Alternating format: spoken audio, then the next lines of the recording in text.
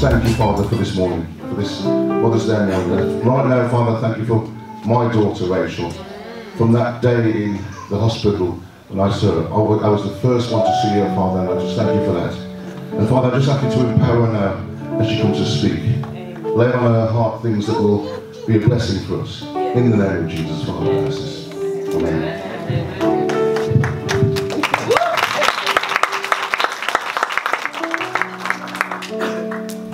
Hi everyone. so um, when my mom asked me to come speak, I just went into my prayer room and I was like, God, what do you want people to hear? And he said to me that he wants me to tell you not to give up.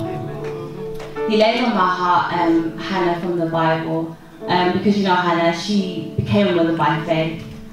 And um, that's one thing that God wants us all to have as Christians is faith and to trust Him and believe in God. So if we read 1 Samuel 1, 2 to 7, it says, Elkanah had two wives, Hannah and Peninnah. Peninnah had children, but Hannah did not. Each year, Elkanah would travel to Shiloh to worship and to sacrifice to the Lord of heaven, heaven's armies at the tabernacle.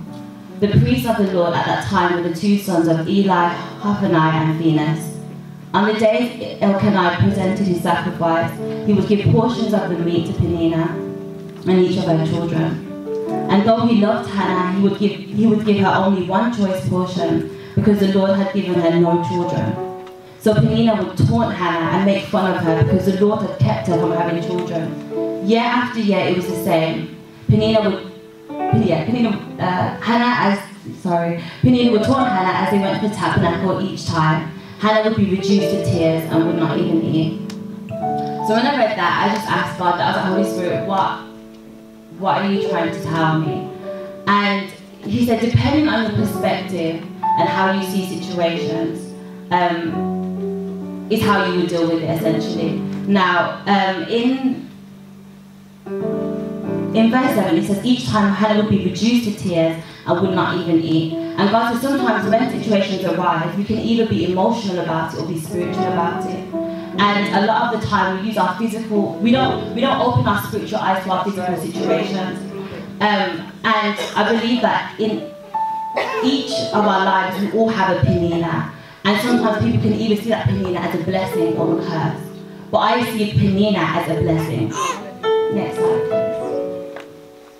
So your boss, your colleague, your classmates, they could be, you know, being so judgmental or picking on you or making you feel bad about yourself or making you feel like you're not doing enough. Now you can either pray for them and ask God for strength, or you can get jealous or bitter or resent or have resentment towards them. Next slide, please. Your loved one. That can be your husband, your wife, your children. There can be so much arguments in the house, your children are misbehaving. And you can either have resentment towards your children, you can be bitter towards your loved one, or you can pray for them. Next one, please. Um, and also, it's not necessarily always just people, it can be situations as well.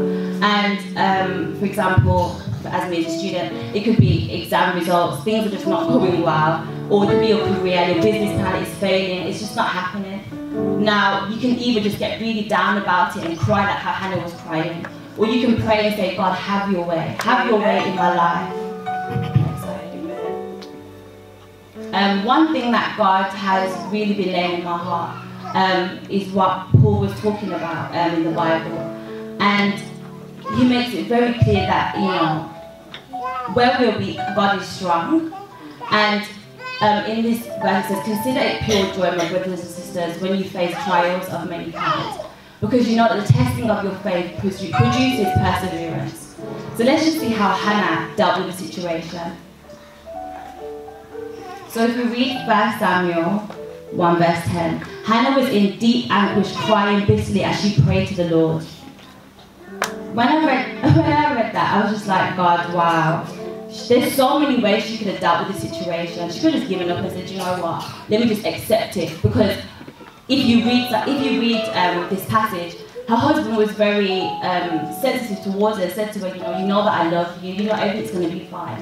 But she knew the desires in her heart. She knew that God had called her to be a mother, so therefore she didn't give up. She carried on. And a lot of the times we face things and we feel like giving up. We're not realizing that the trials are there to strengthen us and to help us to become stronger, to become wiser, to have faith in God. And when I just gave them real life situations, some of them may apply to you. What are you doing when you're facing situations? Are you getting upset about it? Are you getting angry about it? Or you praying? Are you, or are you seeking God? God wants us to seek Him and to not give up. And that's something that He was telling me. And also, as well, the Holy Spirit was just talking about how every situation that we face is not against flesh or blood. You know, there's evil powers in the unseen world that are attacking us every single day. And we're using our physical strength to try and attack our spiritual situations. And it's just not going to work. We can cry, we can get angry, we can get mad, we can scream, we can shout, but the situation is not going to change. But the moment you get on your knees and you pray and you talk to God and you say, God, Father, have your way in my life, that's when things start to change. Hallelujah. So, um, ah, thank you, Jesus. Thank you, Holy Spirit. Um, 1 Samuel verse 12. As she was praying to the Lord, Eli watched her, seeing her lips moving but hearing no sound. He thought she had been drinking. One thing God was telling me as well is that when we're going through our situations, for example, if we're in church and we know that we're, we know that we're going through things, we can be so concerned in what everyone, how everyone else is watching us and what people are saying and what people are thinking. Hannah went there and she was praying so hard because if she was drunk. She wasn't thinking about, okay, what if somebody sees me or what if someone looks at me the wrong way? She knew what God had called her to do. So she got on her knees and she prayed. She prayed and prayed and prayed and prayed. And that's exactly what we need to do in our situations. We need to get on our knees and pray. It doesn't matter who's watching you in church or who's around you, even, even on the street. When I'm on the street, sometimes I'm speaking in spirit. I don't care because I know the God is there. Amen. Do you know, I do not care. And that's exactly how we have to move. Right. If we have to be walking and start speaking in tongues, then you do that. If you have to be in school and start praying over the tongue as a teacher, if you do that. If your house is going crazy and you know that everyone's just all over the place, start bringing heaven into your heart. Amen. Because that's exactly what Hannah did. Yes. And then a des- and then God put a destiny out of Eli and, and said to Hannah, It is well. Yes. It is well. Yes. And that's what God keeps saying over and over and over and over again. It is well. Yes. It's fine. It's sorted. Just have faith in me. Trust in me. Hallelujah. Amen. Bless the Lord. So you can receive your Samuel today. I see Samuel as um, as a blessing. You know, a lot of us, God wants us to give birth, not physically but spiritually. There's so many blessings that God has for us, and He just wants us to carry on, to keep going. So you may ask, how? How can I receive my Samuel? Um, if you read 1 Samuel, verse 11, she made a vow to God and said, O Lord of heaven armies, if you will look upon my sorrow and answer my prayer, and you will and, and give me a son, then I will give him back to you, and he will be yours for an enti- entire lifetime. And as a sign that he has that he's been dedicated to the Lord, his hair will never be cut. Hannah sacrificed her only son and gave him back to God. And God was just saying to me that as much as uh, God may give you visions, He may show you things, He may place desires in your heart for things to happen. But what are you doing for Him? There's so many things that you can be doing in the church, that you can even be doing outside of the church to represent God. And God, God just wants us to give our all to Him. He wants us to sacrifice our, our whole being, give all of it to God. Thank you, Jesus. if you're not seeing any results, the Holy Spirit said to me, it takes nine months to have a baby. Nine months. With everything, there's always time it has to go into it. When you meet someone, let's say your husband, you're not going to marry him straight away. There's a procedure. And that's exactly how sometimes our blessings are. Sometimes we can just get blessings just like that. But some blessings require time and patience. And God wants us to have time and patience. But within that time and patience, we must continue to serve Him. We must continue to do the things. Let's not get stuck in our problems or our situations, and let's go out and serve the kingdom of God. Because there's so many things that we can be doing. As a student, yes, um, I go to Nottingham Trent University. But I never let that stop me from serving the kingdom of God. Wherever God calls me to go, I'm going to go. Regardless of my schedule, regardless of what's happening, I'm going to I'm going to do the work of God. And that's exactly how we must be as people of God. And not God is not a genie. Not we can't always just go to him just to get things. But there's certain desires we do have in our heart that are meant to be fulfilled from God. But in order to receive to receive the blessing, sometimes it requires us having to serve and to go out there and just have faith that it's already there. It's already there.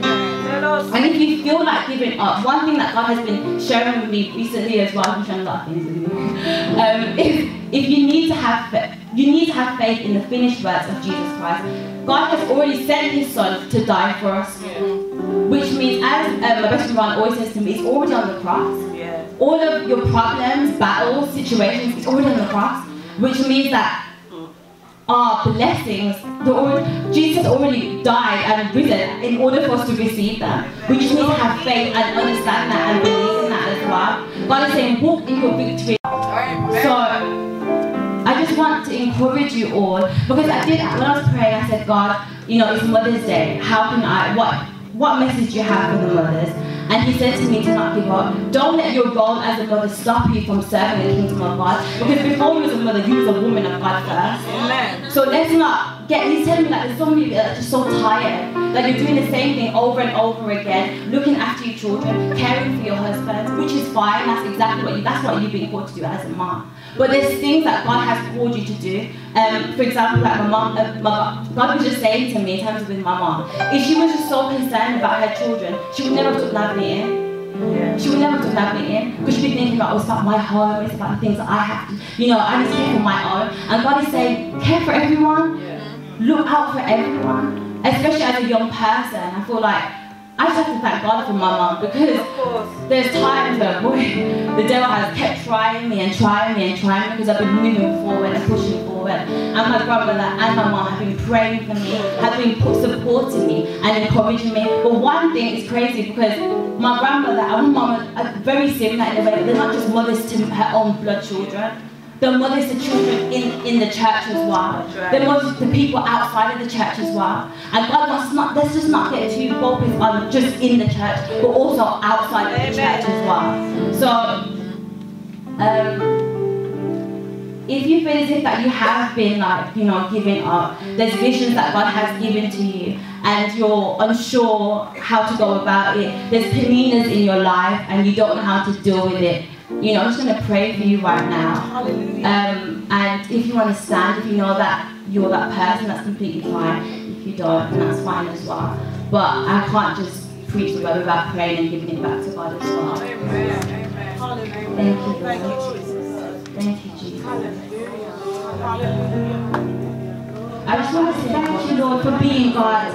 I thank you, Jesus, for forgiving us for all the sins that we have committed. I thank you for every single household, Lord. Because, Father, you know it's not easy, Jesus. You know the roles that they have to do every single day, Lord Jesus. But I pray, Father, that you will give them strength today, Lord God. You shall renew their strength today, Lord Jesus. Father God, I pray that you will ordain each and every one of their steps, Father God. I pray, Lord Jesus, that they shall become the women of God that you have called them to be, Lord Jesus. I pray that every vision that you have given to them, Lord Jesus, it shall come to pass today in the mighty name of Jesus. Father God, I pray, Father God, I pray, Lord Jesus, that every promise that is over their life, Lord, they shall receive it today in the mighty name of Jesus.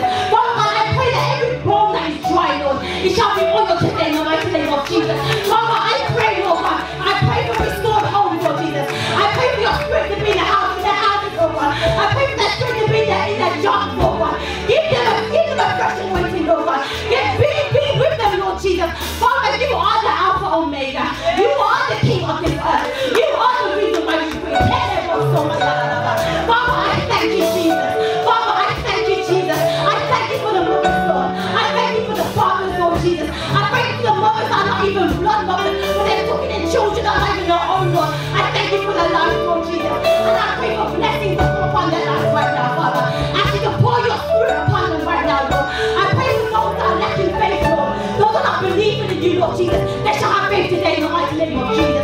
Father I pray that each and every single person in this room to have the faith that Abraham had, Lord Jesus. Oh, you, Lord. Father, I thank you, Lord. Father, I thank you, Jesus, because it is well, Lord God. It is well, Lord Jesus. I thank you, Holy Spirit, for being in this atmosphere. I thank you, Lord, for allowing me speak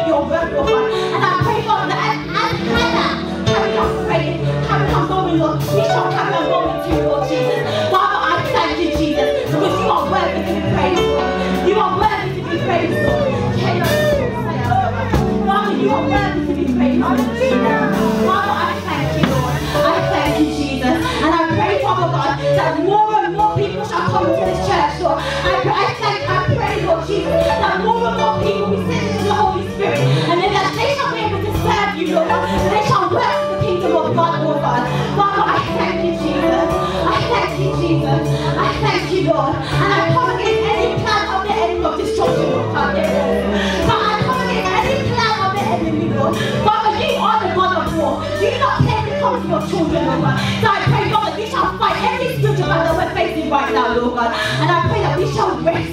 We shall into the atmosphere of rest, Lord. We shall come into the atmosphere of rest, Lord Jesus. Father, I thank you, Jesus. I thank you, Father. I cover this place in the blood of Jesus Christ. I cover this place in the blood of Jesus Christ. And I pray over the youth as well, Lord God. The youth that need to be used for your kingdom, Lord God. Father for a long time, Lord, you know that I was the gift that you've given to me. But today, I am using the gift that you've given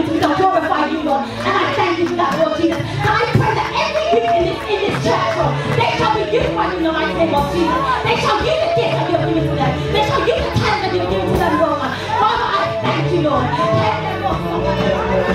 Father, I thank you, Lord Jesus. I thank you for being in church, Lord God. Because even the being in church, I wouldn't even know you, Lord. This is where I began, Lord. But Father God, I pray this time, as this is my beginning, this will not be my end, Lord Jesus. Father, I thank you, Jesus. I thank you, Lord. In Jesus' name I pray. Amen.